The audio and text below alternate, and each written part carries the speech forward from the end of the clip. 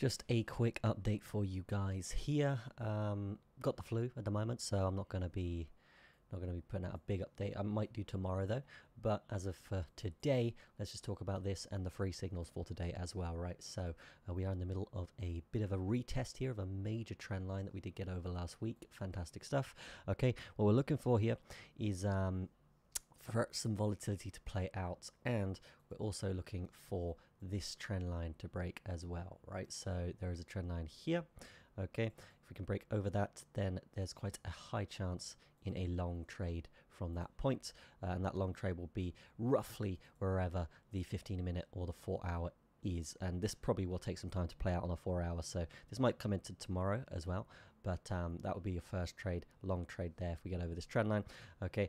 Um, if we get over it very very soon I mean like in the next few hours which I think is pretty unlikely then it would be staying above both of these and then riding this to this next liquidation liquidity zone up here right? So that would be uh, roughly kind of this this area here right so that would be from 66k all the way up to 66.7 all right beautiful stuff there uh, towards the downside a little bit different, a bit riskier as well. You can see this last signal did play out. Um, the last two signals were actually super uh, risky to, to trade, but um, if you did find those trades, congratulations. One thing I will say is I did get a few messages about this trade here. Some of you didn't get out at 1%, and what I always say, guys, is if you do get into a trade like this, then uh, you should be expecting to uh, to essentially take profit along the way here. So taking some profit uh, around the halfway point and then uh, three quarter point, and then once you've taken profit, moving your stop loss to entry, um, you've created a no loss scenario, you've made a little bit of money. If you do hit your target, congrats, like that's good as well, right?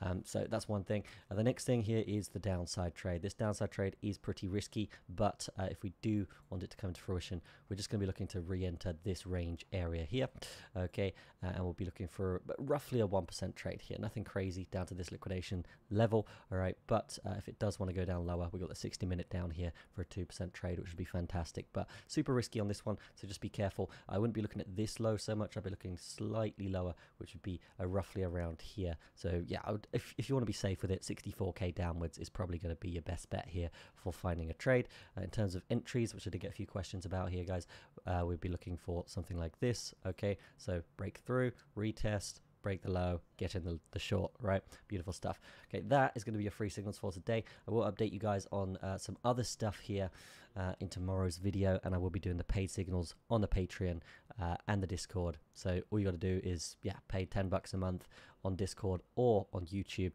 and you will get access to those, no problemo. All right, those coming up next. I'll see you for that. Be sure to like the video if you are watching this on YouTube as well. Cheers.